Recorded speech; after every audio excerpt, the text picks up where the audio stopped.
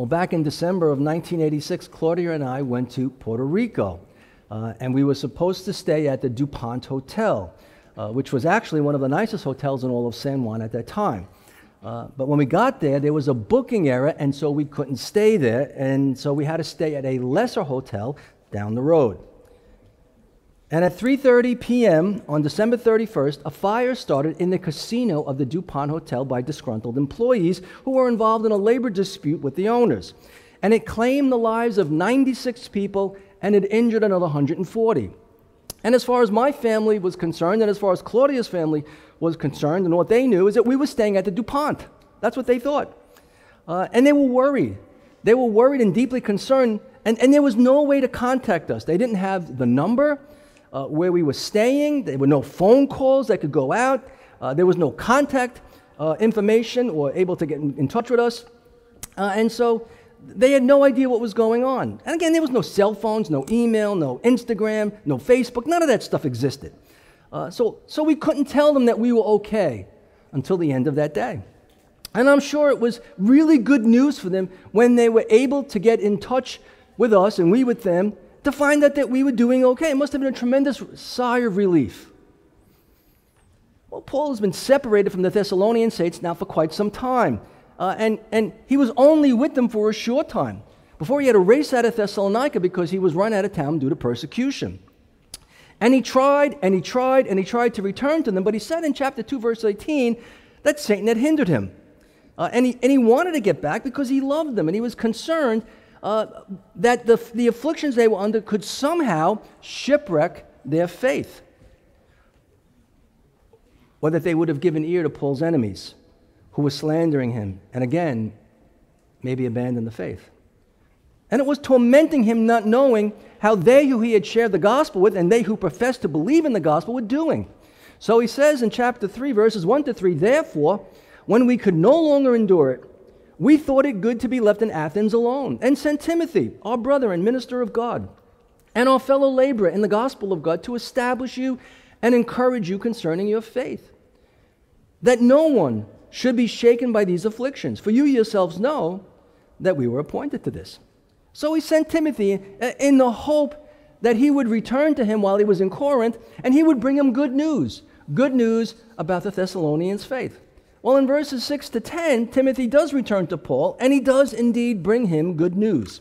And I'd like to consider this good news in these verses in a sermon titled Bringing Good News, and I want to consider it in two ways. The first way is the comfort from good news, and secondly, the thankfulness for good news. Comfort, thankfulness. And let's look at the comfort from good news in verses 6 to 8. I'll read them again. But now that Timothy has come to us from you and brought to us good news of your faith and love, and that you always have good remembrance of us, greatly desiring to see us, as we also to see you, therefore, brethren, in all our affliction and distress, we were comforted concerning you by your faith. For now we live if you stand fast in the Lord. Well, he begins verse 6 with the words, but now. But now. And but now is a contrast to verse 5, where Paul said he couldn't bear it any longer, uh, that he, he, he had to know what was going on with the Thessalonians' faith, uh, for fear that somehow Satan had tempted them uh, and that his labor was in vain. Uh, so Paul was waiting for Timothy to come to him in Corinth with good news. He was waiting with bated breath.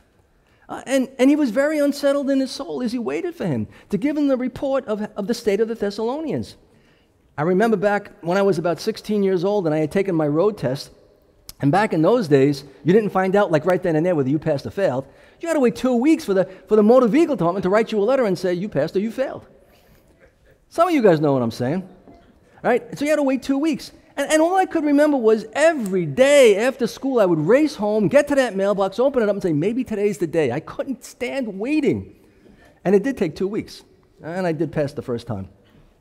Uh, and so, so there's this great anticipation. Well, Paul couldn't take the suspense, uh, and now Timothy has come to him with the report. And I'm sure Timothy, right, and I'm sure he doesn't dilly dally, make a couple of stops here and there between you know, Thessalonica and Corinth because he knows that this is important to Paul. Paul wants to know. He sends him saying, I can't take it, I need to know. So I'm sure he hustled muscle to bring them the good news. Well, Timothy comes and Paul says, He brought us good news. And good news is the Greek word for evangelize. It is to proclaim glad tidings. And this word is almost always used for the preaching of the gospel. And this is the only time Paul uses it not specifically for the gospel. And the reason may be, uh, the maybe for, for him hearing the good news of the Thessalonians' faith was as if he had heard the good news of the gospel itself.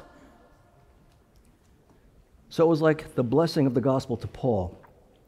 While the good news Timothy brought back was not political, was not financial, was not physical, but it was spiritual. It's about the spiritual state of the Thessalonian saints.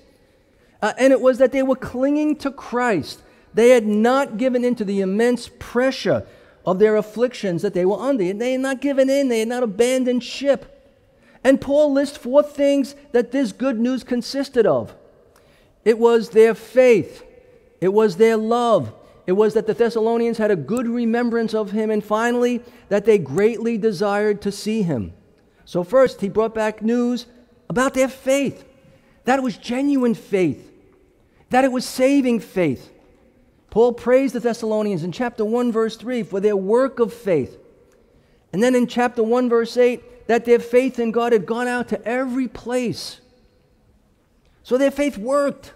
Their faith worked. They were about good works that go with true faith, right? Faith without works is dead. Well, they had works that followed their faith. And they also shared their faith. We read all over Greece, which made their faith evident to others. So, although people came against them socially and financially and physically, their faith was not shaken. Right? They weren't the seed that fell on the stony ground and sprang up fast and then was all of a sudden scorched by the sun, right? Or so they didn't claim to believe in Christ, but when trials and troubles came their way, uh, because of the word, they went away. That wasn't the Thessalonians. So these Thessalonians counted the cost. They didn't budge from trusting in Christ. They believed the gospel, they believed the promises of the word of God. They knew they were sinners and that they knew they were once alienated from God and destined for destruction. And when they heard the good news of the gospel, they wholeheartedly embraced it. They wholeheartedly embraced it. And because a work of regeneration was done in them, they were given the gifts of, of faith and the gift of repentance.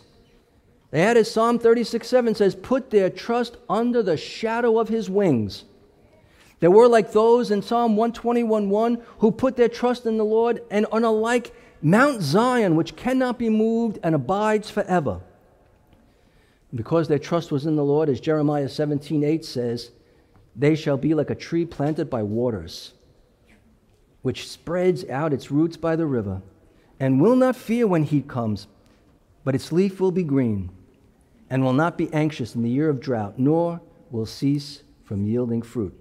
So they were the fulfillment of what Paul was commissioned to do, which was to go to the Gentiles, to open their eyes in order to turn them from darkness to light and from the power of Satan to God, that they may receive forgiveness of sins and an inheritance among those who are sanctified by faith in me. Acts 28 16, 18.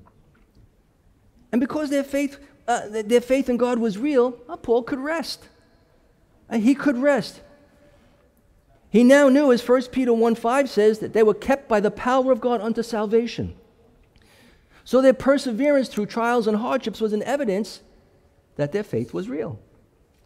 Well, because their faith was real, so too was their love. And this is the second piece of the good news that they had love.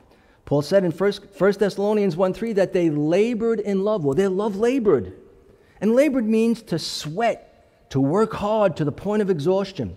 So they broke a sweat caring for the saints. They went the extra yard in serving God because of their great love for Him. They served God because they loved God. So their love for God and for Christ and for the brethren and for the lost was a reality.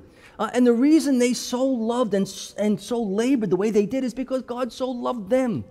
And they couldn't help but love them back in others. When God loves you and you know God loves you and that love saturates your heart, that the only thing that is possible to come from you is love for Him. Right? Jesus said, You love me because I loved you first.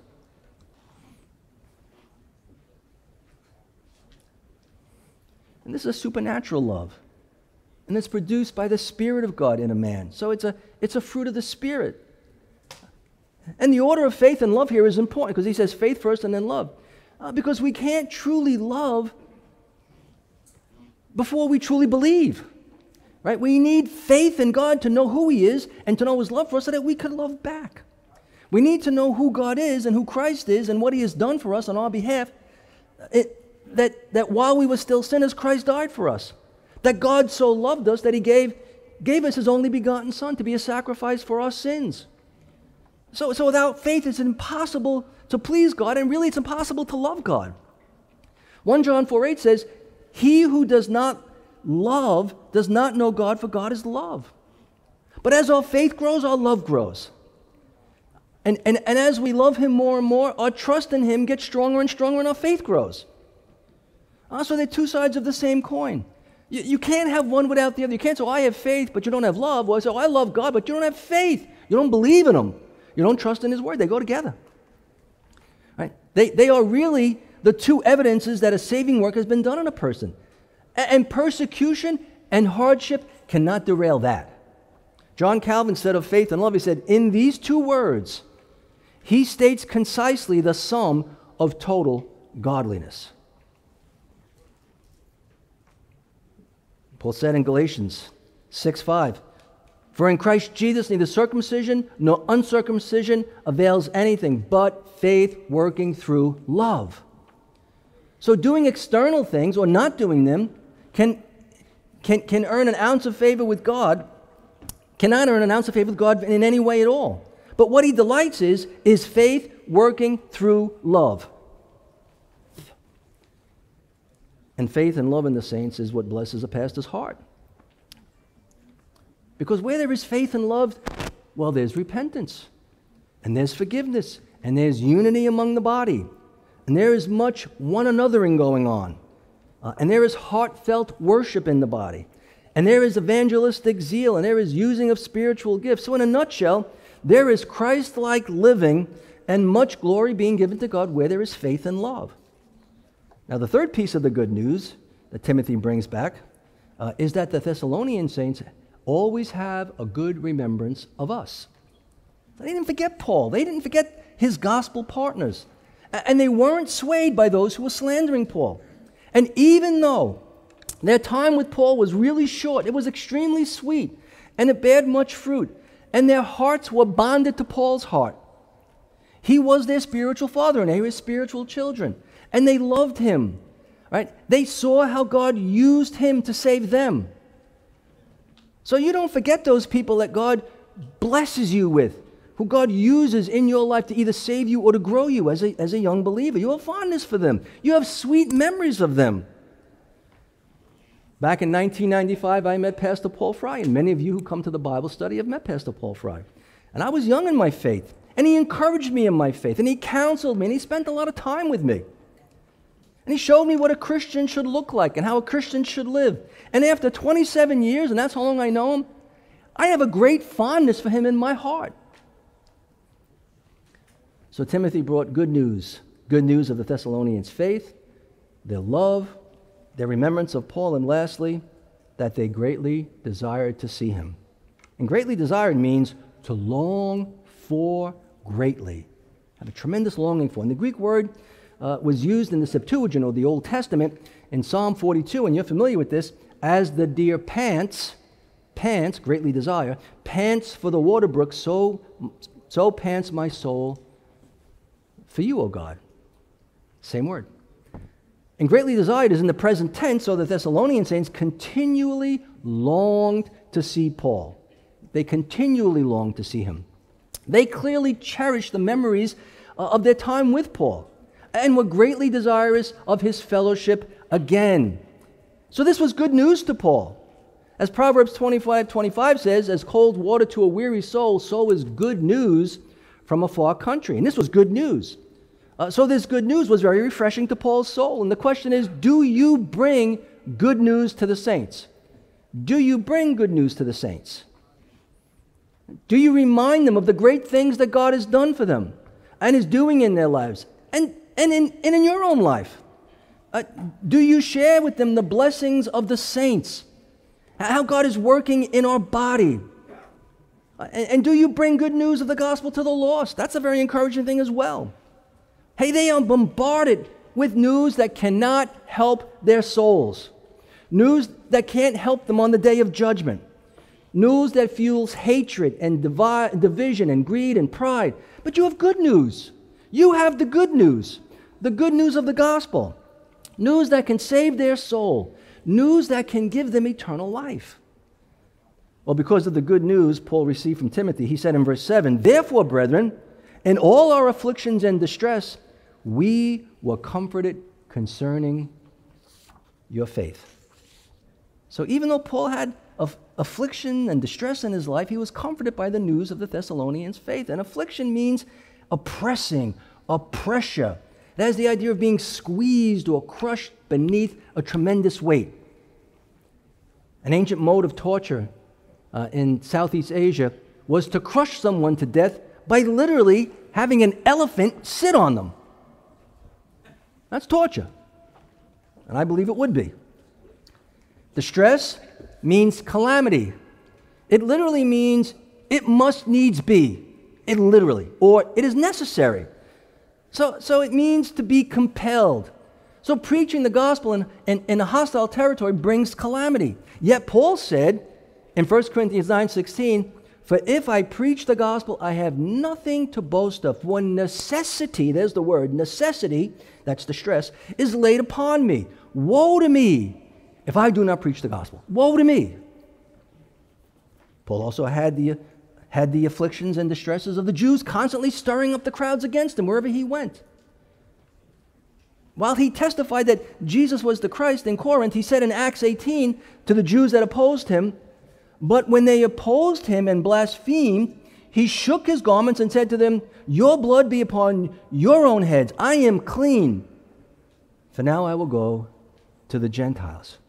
Then in verse 13, right, the Jews made a united attack on him and, brought him before a tribunal. Uh, so, so although Paul had constant afflictions and distresses, the good news of the Thessalonians that they brought him, that brought him great comfort. Just as he was comforted by the coming of Titus with his report on the Corinthians. He said in 2 Corinthians chapter 7, verses 5 to 7, For indeed, when we came to Macedonia, our bodies had no rest but we were troubled on every side. Outside were conflicts, inside were fears. Nevertheless, God comforts the downcast, comforted us by the coming of Titus. Not only by his coming, but also by the consolation with which he was comforted in you. When he told us of your earnest desire, your mourning, your zeal for me, so that I rejoiced even more. You repented of your sin and you wanted to see me again. So Paul was encouraged by by Timothy's good news here in, in 1 Thessalonians, so much so that his pressure and troubles didn't dampen him. That's what he's saying. Yeah, I got troubles. I got plenty of troubles. But when I heard that good news that, that Timothy brought, oh, I was comforted. I was comforted. Right? He was comforted. It didn't dampen him. It, it didn't dampen him. He was comforted that they were walking in the truth. 2 John 1. He was confident that they obeyed the truth through the Spirit, 1 Peter 1.22. Paul drew strength from the comfort of these new believers.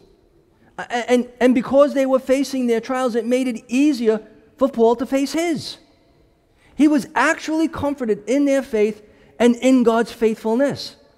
And is it not comforting to us, regardless of whatever our hardships are, to see young believers not buckle under pressure? To hear their testimonies, how God has delivered them from this trial or from that trial. Do we not gain comfort from the, saints, the, the saints' commitment to Christ, even amidst whatever their trials are and their suffering is? Are you not encouraged when you read about the saints in the Ukraine? What they're going through, their, their cities are being bombed, and they're gathering together and praying, and praying that they would not lose heart. And that's not just the Ukraine, all over the world. Listen, we don't know how good we have it here and how easy we have it compared to so much of the world. Where it, it's, it's, it's, potentially, it's potentially breaking the law. It is breaking the law to even meet, to own Bibles, and to come together. And churches are burned down and pe- people are imprisoned, and yet they meet together. And they ask us to pray that they would not lose heart, that they would not grow faint or weary. Not comforting to us? And they still evangelize. They get the gospel out in remote places. It should comfort us. Well, Paul was greatly comforted by the saints at Thessalonica. And, and that gave him a renewed strength, a, a freshness of life, if you will. Which is why he says in verse 8, For now we live if you stand fast in the Lord. And when he says, For now we live, it's not like he wasn't alive before. Of course he was. But rather, he was struggling. He was troubled in his soul, not knowing the state of their faith. Uh, he was in a dark place. Uh, there was a deadness about him, so to speak. There was a moroseness. Oh, are they in the faith? Are they not in the faith? And, and the news that Timothy uh, brings him f- kind of fans the embers of his soul, so to speak. And, and this, this, this news put life back into his ministry. His life was bound up in the Lord and in the Lord's people. And this was like a shot of 20,000 milligrams of vitamin C to his soul. Uh, so it picked him up, it renewed his vigor.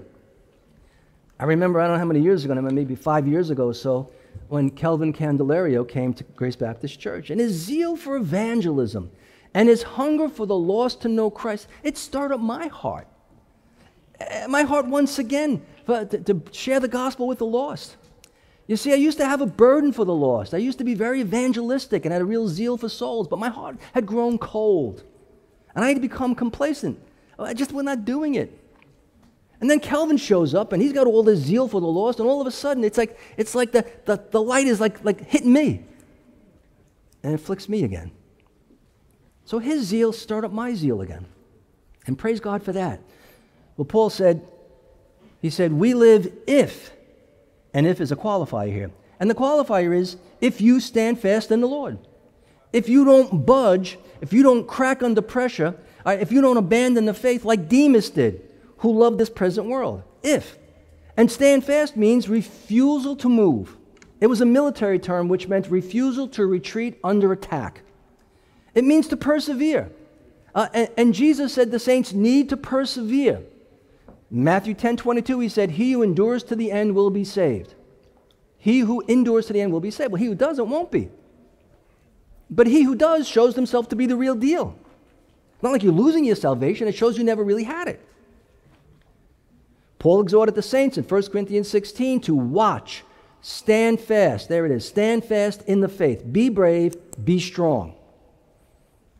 Right? In first in Philippians 1:27 Paul said, "Only let your conduct be worthy of the gospel of Christ, so that whether I come and see you or am absent, I may hear of your affairs that you stand fast in one spirit." Let me hear it.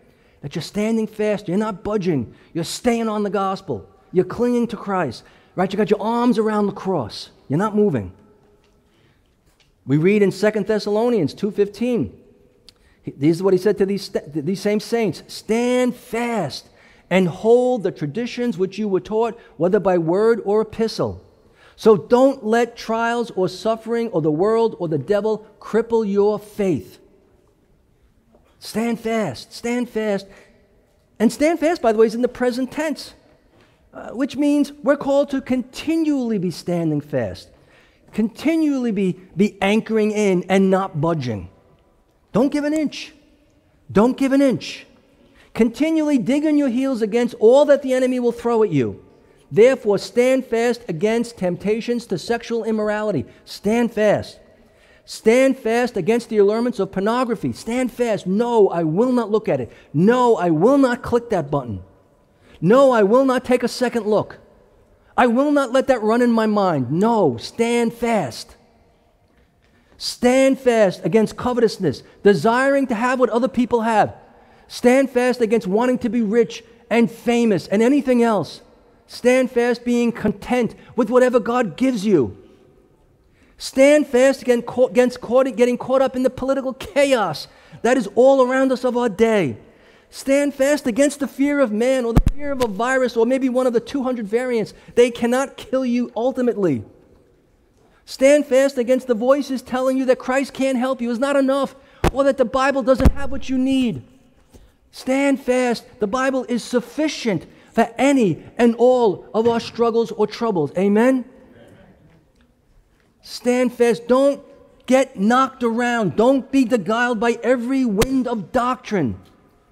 Don't let pressure or distress or struggles cause you to slip. Don't let the multitude of temptations that come your way shake your faith. Don't be listening to the world. Brothers and sisters, you are a new creation. You're not the old man anymore. That person died in Christ, and you've been risen to a new man.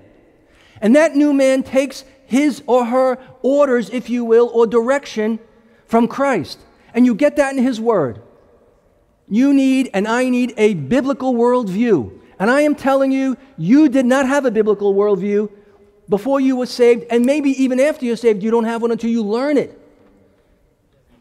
How do you think about moral issues? How do you think about marriage? How do you think about money? How do you think about anything? Relationships, any of that stuff. How do you think about it? Well, God's got a, an answer, a biblical way to view it. The world's view, I'm telling you, is contrary 180 from God's view on all of those things. We've got to grow in a biblical worldview. Don't get knocked around by those things. Don't let them sway you or shake your faith. Stand your ground. Don't give an inch. Stand firm in the gospel because it never changes. Because God never changes. And stand fast in living for Him because at the end of it all, guess what? Heavenly glory. Heavenly glory. So, first we see be comforted, the comfort from good news. Secondly, thankfulness for good news. Verses 9 and 10. For what thanks can we render to God for you? For all the joy with which we rejoice for your sake before God, night and day, praying exceedingly that we may see your face and perfect what is lacking in your faith. Well, Paul says how the good news or their steadfastness in the faith comforted him. And now he says you just can't help but give God thanks for them. You can't help it. He says, For what thanks can we render to God? So he's thankful for the Thessalonians weren't, weren't tempted away by the tempter, uh, that they didn't walk away from the faith. And, and listen, Paul was an extremely thankful man. You can't read the scriptures and not see that. In Romans 6:14, he gave God thanks for Priscilla and Aquila, who risked their lives for him. 2 Corinthians 80, thank God that Titus had his kind of care for the Corinthians. Uh, and he gave God thanks for the Ephesians and for the Colossians and everyone else he wrote to. Right? He told the saints in Colossians 3 whatever you do in word or deed, do all in the name of the Lord Jesus, giving thanks to God the Father through him. We should be thankful. We should be thankful for all things. It is really very sad. It is a, it is a, it is a contradiction for a Christian not to be thankful. We have a lot to be thankful for, but we get holed up and caught up in our struggles and our, and our pains and our suffering and the, and the ills around us. And we can complain and, and get caught up in fear. And yet we have a ton to be thankful for, right? Well, we got out of bed today. Foot hit the ground. God has given us breath in our lungs, the opportunity to come and praise Him with others. The hope of the gospel never changes, right? We should be thankful. And so he's thankful that they weren't moved away. Uh, and he'll say in this, in this same book, First, First Thessalonians chapter 5, he says, In everything, everything, give thanks. Here it is. For this is the will of God in Christ. It's God's will we thank him. He wants us to be a thankful people, to recognize every good thing comes from him and then thank him for it. Not that he needs our thanks, not that we in somehow enhance his glory. We don't. But it grows us, makes us more dependent upon him when we say thank you. I didn't do this. It was my smarts that got me here, or my abilities that made this money, or, you know, my, uh, my know how and, you know, that, that made this happen. No, God did it. But He did it through me, and He did it through you. He uses us to do those things. Wants us to be thankful. So Paul was a very thankful man, and he was thankful for the Thessalonians' faith. But notice also, he is thankful for what thanks can we render to God for you? Right? For what thanks? So, so he wasn't he wasn't thanking the Thessalonians for their faith, right? Oh, Nick, I thank you that you're so such a faithful man. No, Jose, I thank God. I, I thank God for you, but I don't thank you, right? What thanks can we render to God for you? So he's thanking God. Because faith is not something any man can muster up himself. It it's not. It is the gift of God, and you know that. Ephesians 2 8 and 9, good verses to put to memory. For by grace you have been saved through faith. All right, grace is gift, and the vehicle is faith. And they're both gifts. For by grace you have been saved through faith, and that not of yourselves. You didn't save yourself. You didn't figure it out. You didn't give yourself grace. You didn't give yourself faith. For by grace you have been saved through faith, and that not of yourselves, if you didn't figure that out. It is the gift of God. It is the gift of God. So the whole, you got to come to Christ, you got to believe in Him, this wipes that out. It is the gift of God. Not of works. Why? Lest anyone should boast. You could boast if you got yourself saved, right? You can say, look at me, man. I finally uh, picked up my bootstraps and came around, and here I am. I did it. You did nothing. You were dead. God made you alive. God gave you grace. God is sustaining you. God is keeping you. His Spirit is in you. And He's giving you everything you need until you get to glory. God did it. Hebrews 12 2 asks, uh, says, says that Jesus is the author and the finisher of faith. He started it, He'll complete it. Paul asks in 1 Corinthians 4 7, What do you have that you did not receive? Think about it. Maybe your good looks, He gave it to you. Maybe your keen mind, He gave it to you. Your faith, He gave it to you. Right? What do you have? Well, the answer is rhetorical. It's a rhetorical question. Nothing. Nothing. So God is the giver of faith in every good thing. And He alone should be thanked for those things, like repentance uh, and your life in the kingdom, and your growth in faith, and your steadfastness in the faith. He gets thanked for that. Thank Him for opening up your heart to the message of the gospel. He could have left it closed. Right? We see in Acts, uh, in Acts 16, a bunch of women are down praying by the, by the river, but He opens one woman's heart to heed the things and believe the things that Paul is speaking. That's Lydia. Doesn't say He opened up everybody's heart, opened up Lydia's heart. Praise God and thank God He opened up your heart if it's open, right? He gets the thanks. So Paul is thankful uh, that, that, he, that God had preserved the Thessalonian saints. And then he knew that it was God and God alone who saved them and who kept them. Uh, and, and who he was thankful for that? To God. And yes, Paul was a pastor and a Bible teacher, uh, and, and he was certainly used by God in their lives, clearly. Right? And all Christians are used by God to share the gospel with the lost, to disciple young believers. Right? Uh, yes, we are the tools, the means that God uses, but it is 100% of God's grace. So there's no room for pride or feeling good about yourself.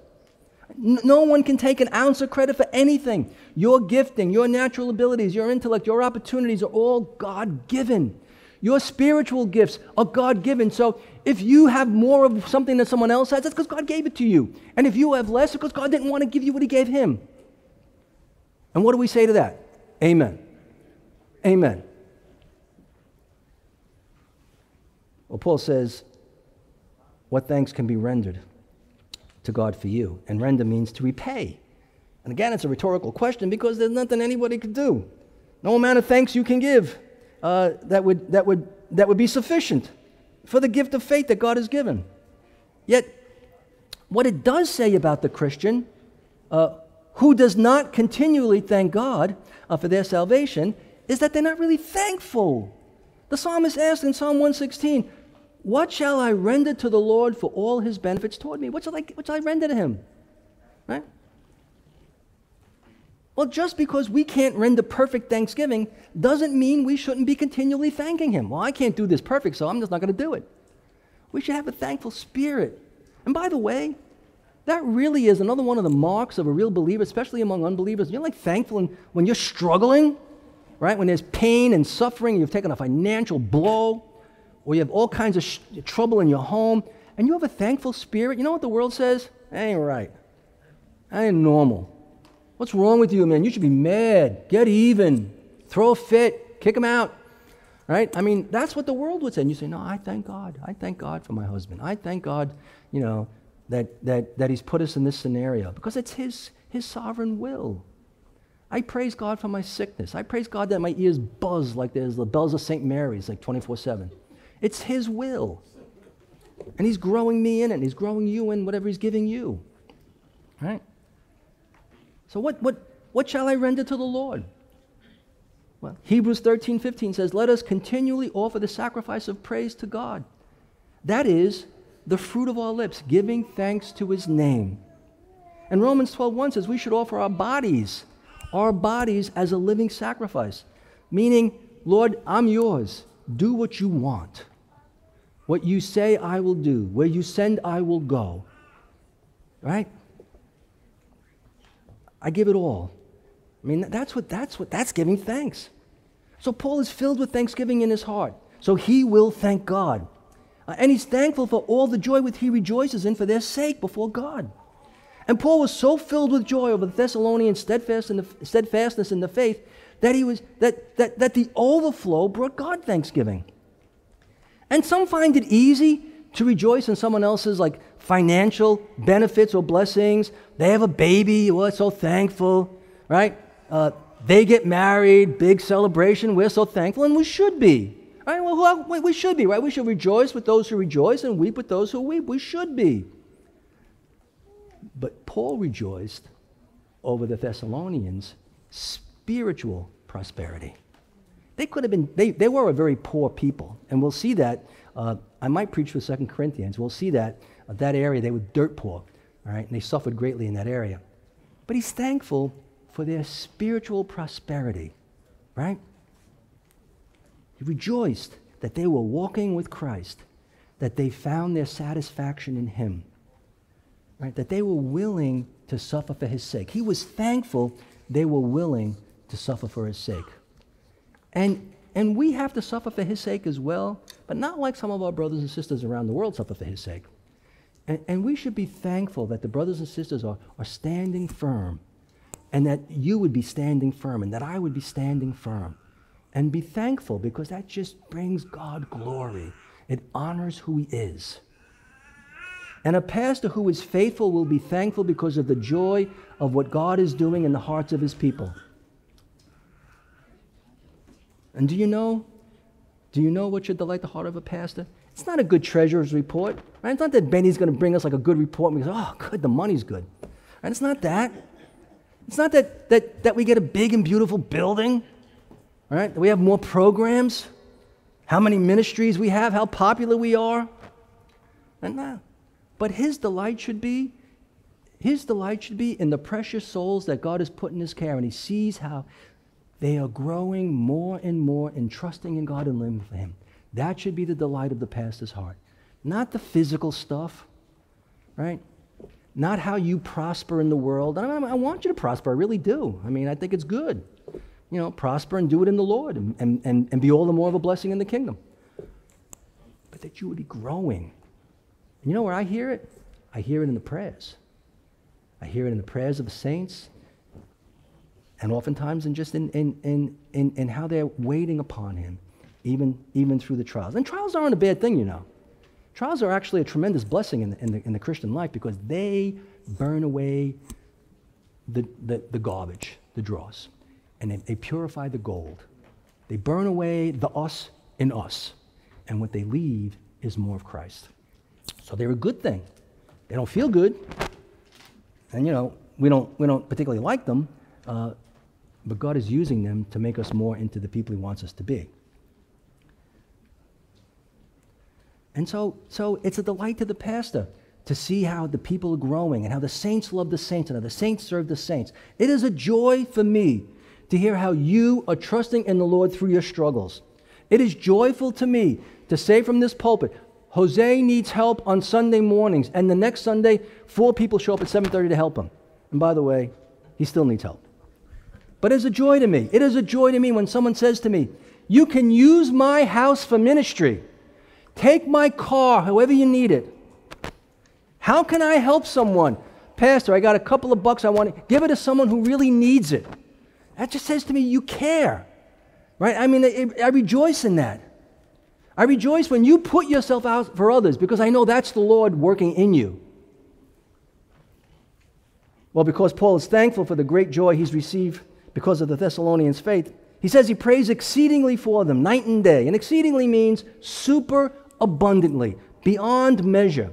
When the rich young ruler walked away from Jesus because he loved his money and didn't love the Lord, um, Jesus said to his disciples after that, He said, You know, it'd be easier for a camel to go through the eye of a needle than for a rich man to enter the kingdom of heaven. And in Mark 10 26, we read his disciples' response. We read, And they were greatly astonished, exceedingly astonished, saying among themselves, Who then can be saved? They were astonished beyond measure. That's what he's saying. Astonished beyond measure. Well, Paul's praying day and night means he prayed always for them. Uh, and, and the sense here is that he prayed with intensity. And, and he prayed intensely for two things one, that he would see their face, and two, that he would perfect what was lacking in their faith. Uh, and and, and he, was, he was thrilled in his soul with the news Timothy brought back. But that wasn't enough. He still wanted to see their face. And there are no substitutes, no substitutes to being with the saints and worshiping with the saints. There are no substitutes. Facebook Live, Zoom, uh, whatever else there is. Well, the, the, the technical stuff where we can, we can see each other on, on a screen and talk to each other and pray or whatever. It's good in its place, and we're thankful for it, but it pales in comparison to being with the body. Listen, we're commanded to continually assemble together. Not every month, every couple of weeks, once every six weeks. All the time. When, when the saints come together, we should come. And it's not just a good idea. You can't read Hebrews 10.25 and get around it, right? We're commanded to not neglect the assembling of ourselves together. Right? And that's a command. So God wants us to corporately do together what we are supposedly doing privately day by day. And if you just do a little word study on the word assemble in the New Testament, you will see over and over again the saints assemble. They assemble, they come together. And that's what Paul wanted. He wanted to assemble with the saints in Thessalonica. He wanted to see them, he wanted to be around them. He didn't want to just be sending letters and getting information from, from you know, Timothy or others. He wanted to see them. And then he said he doesn't want to see them, he wants to perfect what was lacking in their faith. And the word perfect does not mean to be sinless, but, but rather to be mature. It means to grow up, to be strengthened. Uh, and the reason they needed to be strengthened is because there were things that they were still lacking. And all Christians are lacking in some spiritual areas. I am, and you are as well. None of us knows all things, none of us lives perfectly. Paul himself said that. He said of himself in Philippians 3 Not that I have already attained or am perfected. I'm not. So anyone that says or believes in this false doctrine called sinless perfection, throw it out the door. Because Paul says it in Philippians 3:12, I'm not even that. We can't be. Otherwise, why would God give us so many commands to live holy because we don't always live holy. And 2 Peter 3:18 calls us to grow in the grace and knowledge of our Lord and Savior Jesus Christ. So we need to grow. We're commanded to grow. We all need to grow. We all need to mature more and more. Uh, and, and the means of maturing is primarily through the Word. Through the Word. Not just any Word, but His Word, rightly divided. We need the Word of God. We need the Word of God. You see, we grow as we increase in our knowledge and understanding of the Word of God and applying it. It's no good to be this big head of knowledge and you don't do it, right? It's no good to know a lot of biblical stuff and then you don't live it. Actually, Paul says that puffs up. That's just prideful. So everything we know, we got to pray, Lord, help me do this, help me be this, help me think this. We pray. We pray. So we grow as we hear and believe and apply. So if you're a reader of the word and a meditator on the word and a prayer of the word, and you take advantage of the venues to hear and learn, particularly here, but other ways as well, and then ask God to help you to live what you learn, you will mature. You will grow. You will grow in your faith. But if you are scarcely in the Word, you dabble here and there, maybe this is the only word you'll get this week, if that's the case, and you don't meditate on the word, you just do the fly-by reading and like, all right, I got my chapter in, I am done. Start my day. But if you don't meditate on it, chew on it, mull it over, let it marinate, so to speak, and you're not praying at all, well, you're stunted in your growth. And that's, that's cause for concern. Right? It's cause for concern. And then also, you become an easy target. You become an easy target for the tempter. When, when, when the shield of faith is low, when you don't have the sword of the Spirit, you know, wielding out there, the potential for those fiery darts to hit the head and hit the heart, they're there. you know, and, and, and, and we could easily get shot down by the tempter. So let us praise God, though, for opening our hearts and birthing us into his kingdom and for his wonderful word and the many opportunities he gives us to grow in it. We have many opportunities to grow in the word, and thank God for it, right? Well, in closing, let me ask you one question and leave you with just one thought.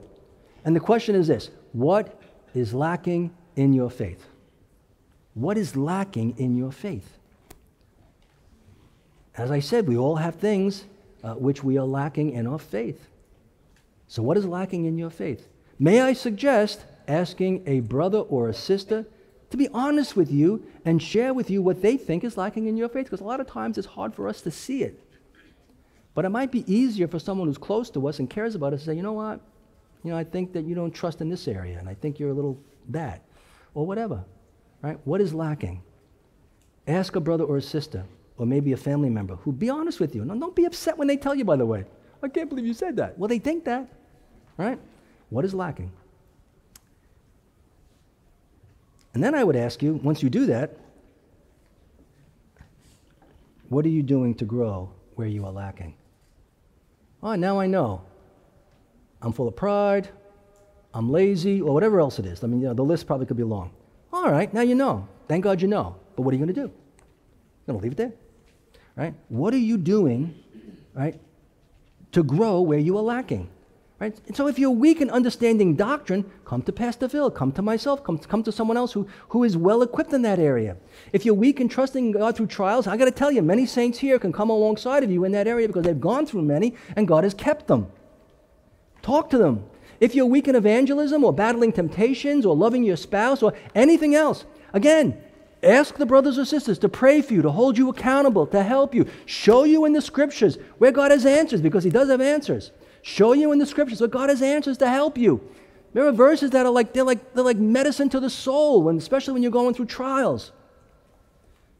Ask where the Bible has answers. Remember, 1 Thessalonians 4 3 says, our, our sanctification, our growth, it's the will of God. God wants you to grow. He didn't save you to be a baby, He saved you to grow. He saved me to grow.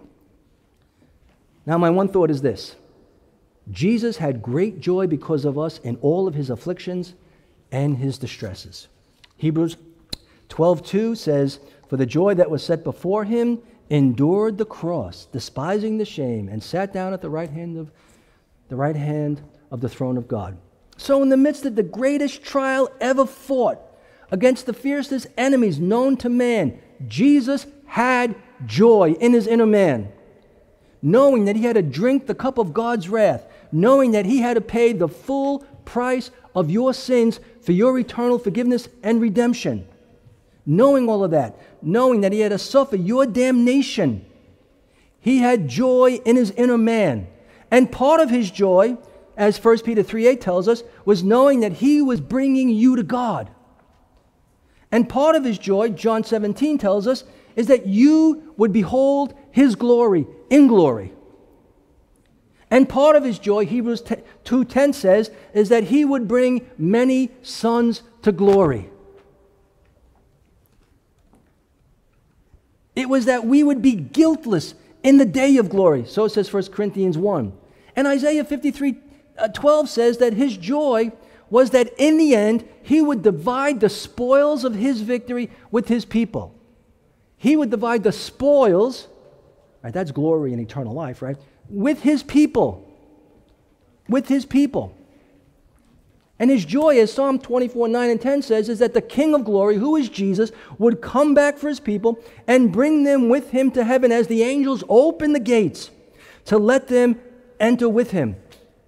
Can you imagine that? He's going to say, Open. Psalm 24 is a beautiful psalm about Christ going into glory first coming, his first is his ascension and coming back with us to him. He's going to say, Open those gates, you angels. I'm bringing my people with me. I got my host with me. I'm bringing them with me. And the angels open the gates for us, bring us to glory. That's his joy. That's his joy to do that. So, preparing us for glory, readying a seat for us at the marriage feast of the Lamb, was what gave him great joy in the midst of his suffering. Am I doing that? Listen, his was the greatest suffering ever known to man. And even in the midst of it, he had unbelievable joy because he knew how it was going to end. And knowing the end result would be for us to be with him forever brought him joy, even though he was the suffering servant. And so the saint's spiritual well being ought to be what brings us joy, even in our afflictions and distresses. Amen? Amen. Now, if you're here today and you're not saved, what you're lacking is faith. You don't have faith at all. And if you leave this life this way, your afflictions and distresses will be unbearable, unbearable in the next life. But the same God who saved the Thessalonian saints and every saint sitting in this room today can save yours as well. If you acknowledge your sin before Him and you plead for forgiveness of them and turn from them to Christ, and that's what repentance is, is turning away from sin and turning to Christ, acknowledging, I have a tremendous need and I can't fix it. And I'm condemned apart from you, Lord. And I deserve it, by the way. But I turn to Christ and I trust in Christ and I'm going to cling to Christ and I don't care what happens. I'm going with Him. And if you acknowledge that, guess what? He will sincerely give you the gift of faith. He will save your soul. He will give you repentance. He will give you faith. And then all the saints here, well, they will rejoice for your sake before God. And then you'll rejoice with us for that as well. Amen? Repent and believe. Let's pray.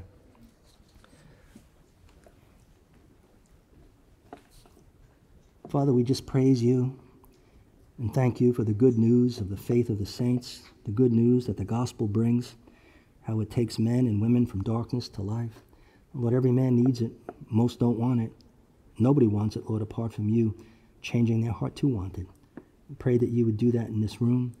Pray that we who know you would be very thankful, thankful for what you're doing in our lives and the lives of the saints. And Lord, we would be thankful for spiritual things, for growth, for trust, uh, for, for, for long suffering, uh, Lord, and, and not moving off uh, the truth of the gospel. Lord, I pray that we would be thankful as we see the saints grow, and we would praise you for it. And Lord, again, for those who don't know you, Lord, would you put a real prick on their heart, Lord? Would you show them, Lord, that they need a Savior no matter what they think? Uh, Lord, without faith, it is impossible to please you. No man will know you without it. I pray, Father, you would draw them to the cross and you give them life. We ask it in Christ's name. Amen.